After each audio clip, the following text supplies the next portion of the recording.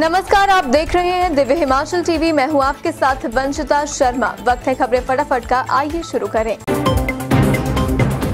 Jogindernagar police ने नशे के सौदागरों पर कसा शिकंजा। दो दशमलव दो शून्य किलो चरस के साथ दबोचे कांगड़ा के दो युवक। पुलिस ने तस्करी के लिए इस्तेमाल इनोवा कार भीली कब्जे में।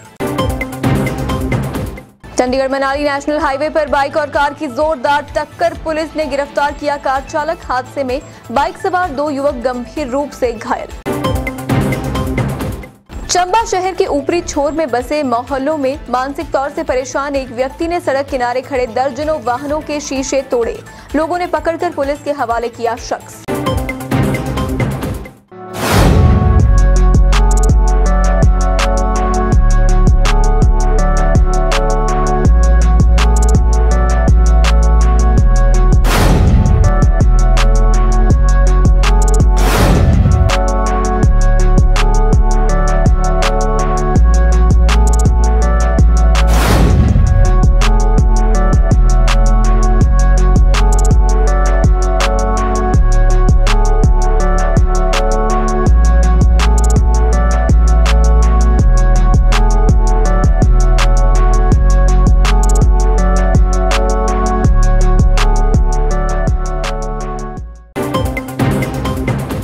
बिना वैध कागजात सवारियाँ ढो रही दो वोल्वो बसें पकड़ी। एचआरटीसी व आरटीओ कार्यालय की संयुक्त टीम ने नादौन से दिल्ली के लिए सवारियाँ ले जा रही बाहरी राज्यों की दो बसों पर की कार्रवाई।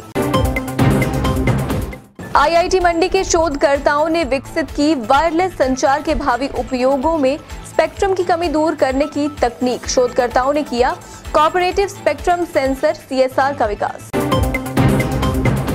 भारत के कृषि विज्ञान केंद्रों का बाहरवा राष्ट्रीय द्विवार्षिक सम्मेलन सोलन में शुरू। पहली और दो जून को डॉक्टर यशवंत सिंह परमार, औद्यानिकी एवं वानिकी विश्वविद्यालय नौनी में कार्यक्रम। केंद्रीय कृषि मंत्री नरेंद्र सिंह तोमर ने ऑनलाइन किया सम्मेलन का शुभारंभ। बतौर विशेष अतिथि मौजूद रहे मुख्यमंत्री जयराम ठाकुर। गुजरात के राज्यपाल आचार्य देवव्रत ने की कार्यक्रम की अध्यक्षता। मंडी सीटू सदर कमेटी ने बढ़ती महँगाई और बेरोजगारी को लेकर किया धरना प्रदर्शन। केंद्र और प्रदेश सरकार के खिलाफ लगाए नारे, जल्द राहत के लिए बुलंद की आवाज़। बढ़ती महँगाई, बेरोजगारी को लेकर माकपा और सीटू हमीरपुर ने संयुक्त रूप से निकाली रैली। सरकार की नीतियों के खिलाफ किया प्रदर्शन, मुख्यमंत्री को भेजा ज्ञापन। विभिन्न परियोजनाओं में काम कर रहे कर्मचारियों ने मांगों को लेकर इंटीग्रेटेड डेवलपमेंट प्रोजेक्ट सोलन के बाहर शुरू की हड़ताल। अरसे से वेतन न बढ़ाने को लेकर जमकर बोला हल्ला।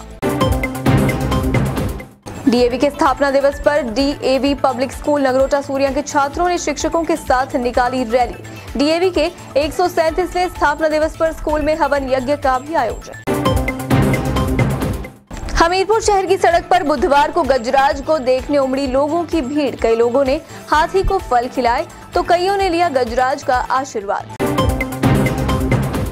जिला चंबा की ग्राम पंचायत बाड़का के ग्रामीणों ने डीसी से प्राथमिक पाठशाला बहड़ोई में अध्यापकों के पद भरने की उठाई मांग। पाठशाला में कुल 105 बच्चे, मात्र एक अध्यापक के हवाले। हमीरपुर में उपायुक्त देवश्वेता बनिक की अध्यक्षता में जिला सैनिक बोर्ड की बैठक। मीटिंग में भूतपूर्व सैनिकों से संबंधित कई महत्वपूर्ण मुद्दों पर की गई चर्चा। 19वीं वाहिनी भारत तिब्बत सीमा पुलिस बल बोंडा सराहन के जवानों के लिए दिव्य ज्योति जागृति संस्थान द्वारा रामपुर में भजन संध्या का आयोजन शहीदों को किया सलाम। जिलाउना के गाँव पीरथीपुर में विशाल शोभा यात्रा के साथ श्रीमद् भागवत सप्ताह ज्ञान महायज्ञ का शुभारंभ। कथावाचक आचार्य सुरेंद्र शास्त्री जी महाराज बोले, अच्छे लोगों के साथ से ही हो सकता है जीवन में सुधार। विधानसभा करसोग के नागरिक चिकित्सालय में 4 जून को दिव्यांगता प्रमाण पत्र शिविर, मंडी से विशेषज्ञ चिकित्सकों का दल नागरिक चिकित्सालय करसोग में करेगा लोगों की जाँच। खबरें फटाफट में आज के लिए बस इतना ही। देखते रहिए दिव्य हिमाचल टीवी।